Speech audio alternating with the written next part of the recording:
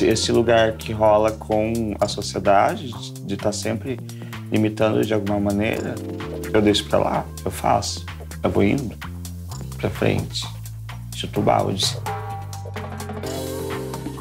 Eu iniciei nesse lugar buscando alternativa. Primeiro que eu sempre gostei de brechó. É muito além de, de se vestir. É, é sobre algo seu, profundo. Na produção, eu expresso muito, muito de mim. Eu mostro o que eu sou no mundo, como eu quero ser é, e o que eu desejo que esperem de mim, assim, de alguma maneira. Por muito tempo eu estive num lugar meio que isolado, sozinha. Porque são duas coisas que atravessam muito, assim. Porque eu não me sinto só uma pessoa com deficiência e só, ou só uma, uma travesti. Então, para mim, eu tô sempre é, repetindo essa importância, assim, tipo, eu sou capaz, eu posso, eu consigo.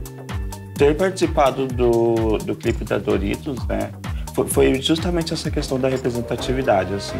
Porque ter o meu corpo ali junto com os outros é um lugar de garantir acessos, mostrar o quanto essas pessoas também podem alcançar esses lugares. Acredito que ser livre é quando eu consigo me libertar daquilo que me bloqueia de alguma maneira. E aí eu consigo expressar aquilo que eu sou, aquilo que eu quero, sabe? Isso aqui sou eu. É o mais puro de mim que eu tô te entregando. É isso aqui.